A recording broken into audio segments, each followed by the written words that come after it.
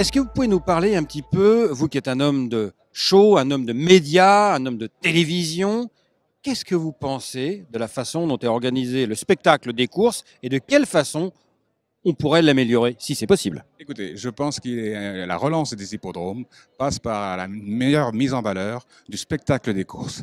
Alors la première chose, je pense que le dimanche doit être solennisé. Ça doit être la journée des courses de la semaine, avec des épreuves de prestige, avec euh, des animations et peut-être des jeux et des paris spécifiques. Mais la transparence doit être le mot clé pour, tous les aménagements à venir. Transparence avant la course. Je pense que sur les grands écrans, on doit montrer ce qui se prépare dans les balances, dans les, balances, sur le rond de présentation, et pourquoi pas, et pourquoi pas faire en sorte que les chevaux soient scellés près du, euh, rond de présentation. Il faut associer le public au spectacle. Je crois aussi qu'avant euh, les courses, il serait bon d'avoir un animateur qui euh, donne des conseils de jeu.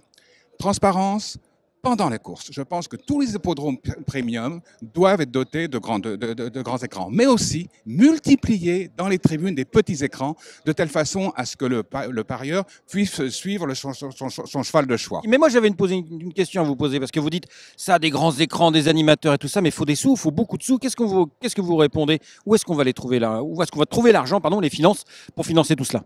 Non, mais euh, nous, on croit à la relance. On croit à la relance des courses. À la relance des courses passe certes par des économies, mais et faire de ces, économies, faire des investissements pour promouvoir le spectacle de course. Je voudrais ajouter, il y a aussi transparence après après les courses. Dès le poteau, franchi, les paris doivent être, doivent, être affichés sur, la grande, sur, sur, le, sur, le, grand écran. Le parieur également, il a le droit à des explications, à des commentaires du, du, gagnant bien sûr, mais aussi pourquoi pas du favori qui a été débattu et bien sûr des explications claires des, des commissaires lorsqu'il y a un litige.